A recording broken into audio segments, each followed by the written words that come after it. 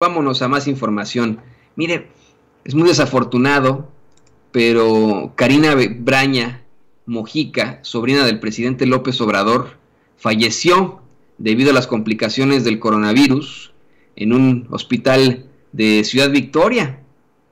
Imagínese usted. Eh, ella es, de hecho, hermana del diputado local electo por Ciudad Victoria y en Tamaulipas, José Antonio Braña Mojica eh, y fallece por las complicaciones del coronavirus. Según la revista Proceso, desde el mayo, desde el pasado mes de mayo, disculpe usted, la sobrina del presidente fue internada en un hospital de Ciudad Victoria, sin embargo, no pudo superar las complicaciones de salud.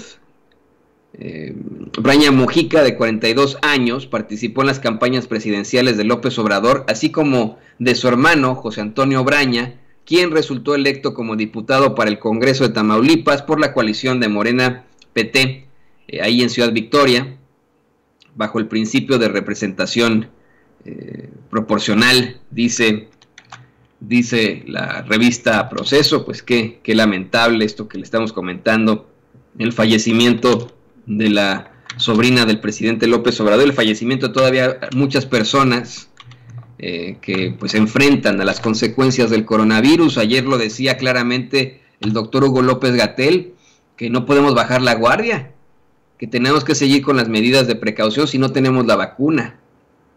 Es muy importante, señoras y señores, estar pendientes a cualquier situación eh, que nos afecte de esta forma. Eh, así, así de sencillo. Eh, por supuesto que aquí en Sin Censura nos solidarizamos no solo con la familia de Karina Braña Mojica, sino con los familiares de todos los fallecidos en México y en el mundo por el coronavirus. No hay que bajar la guardia. Estamos cerca de, enfrentar duramente a la pandemia y a esta enfermedad con las vacunas, pero no hay que bajar la guardia. Hay que seguir con las medidas de precaución.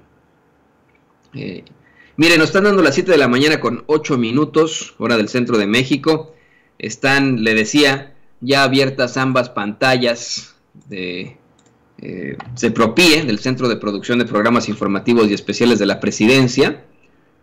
Eh, están ya las dos pizarras ahí puestas. En cualquier momento estará saliendo el presidente López Obrador. Pero pues vámonos a más información.